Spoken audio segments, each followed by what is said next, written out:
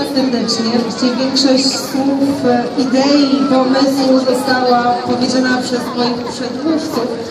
Ja chciałabym dwa słowa o tym, co Mazowiecki Instytut Kultury przygotował w ramach tego drugiego festiwalu.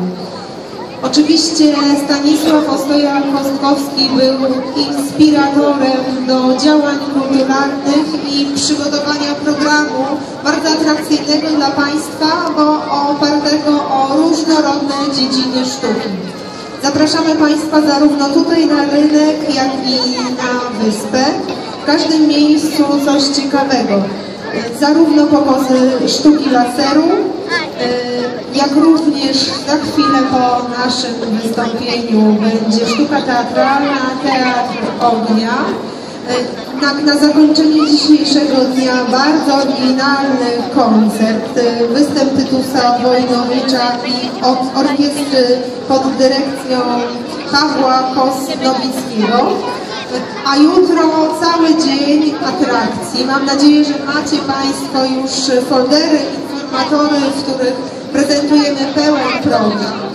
Jutro zapraszamy od godziny 11.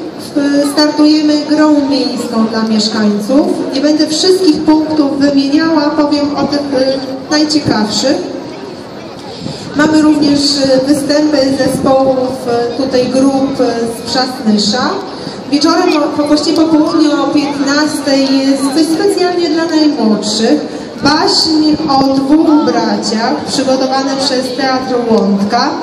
A na zakończenie o godzinie 19.30 przewidujemy wspaniały koncert finałowy zespół Trybunie Tutki, nuty wielkiego pasterza w wykonaniu właśnie y, zespołu Trybunie Tutki razem z warszawskim chórem międzyuczelnianym.